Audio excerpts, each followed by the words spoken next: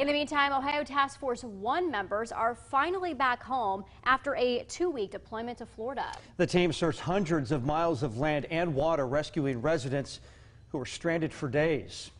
2 News reporter Caroline Morse is continuing our coverage of Task Force 1's mission in Florida.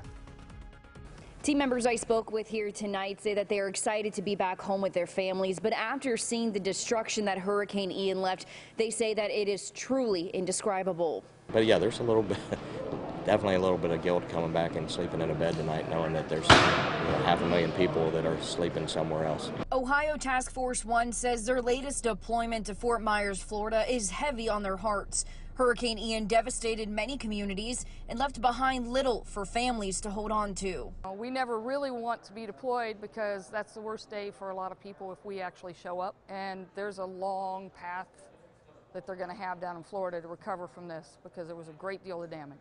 84 members of Ohio Task Force 1 deployed for two weeks to Fort Myers. They searched over 8,700 structures and rescued over 200 residents. K-9 manager Melissa Morgan says her team recovered one body, hoping to turn tragedy into answers. It's absolutely sad, but it's absolutely important to the families.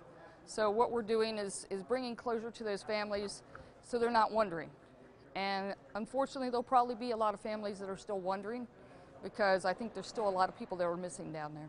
Task Force leader Jack Reel says through his years with Task Force 1, Fort Myers deployment is one that's difficult to process. There's nothing left.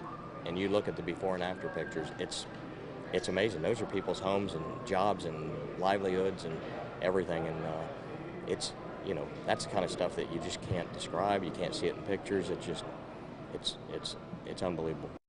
This deployment marks Ohio Task Force One's fifth deployment in 15 months. Now, across the country, there are 28 FEMA teams, including Ohio Task Force One. For more on their mission in Fort Myers, visit our website, WDTN.com.